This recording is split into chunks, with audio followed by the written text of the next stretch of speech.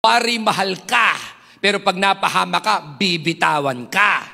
Sample, ang demonyo po nangangako sa'yo. Gawin mo to, maglagay ka, uunlad ka, maniwala ka, yayaman ka. Pero sa bandang dulo, pag makukulong ka na, wala na siya.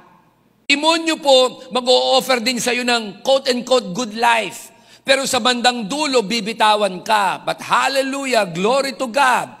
Si Lord, sa umpisa, bibigyan ka niya ng buhay na walang hanggan. At hindi ka lang bibigyan ng buhay na walang hanggan, bibigyan ka ng buhay na masagana. At sa panahong merong aatake sa iyo, ipagtatanggol ka ng Diyos sapagkat siya ay ang good shepherd ng buhay mo. Sabi ni Lord, I have come to give you life. I have come to heal you. I have come to provide for you. I have come to give you life and enjoy it abundantly.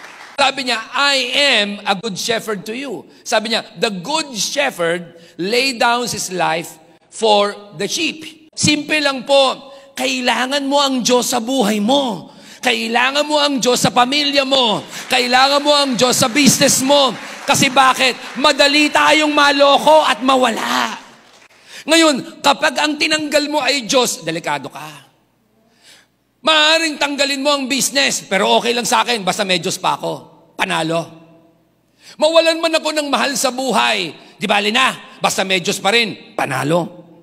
Mawalan ka man ng asawa, iwanan ka, mga kaibigan, ipagpalit ka sa iba, hindi na bale, basta meron kang Diyos na nag-aalaga sa iyo, panalo.